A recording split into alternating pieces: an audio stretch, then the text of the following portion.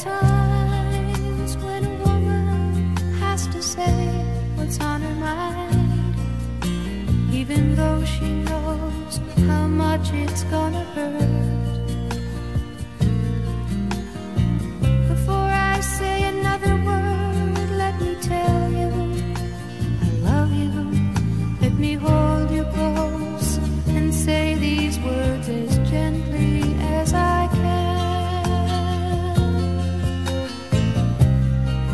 been another man that I've needed and I've loved.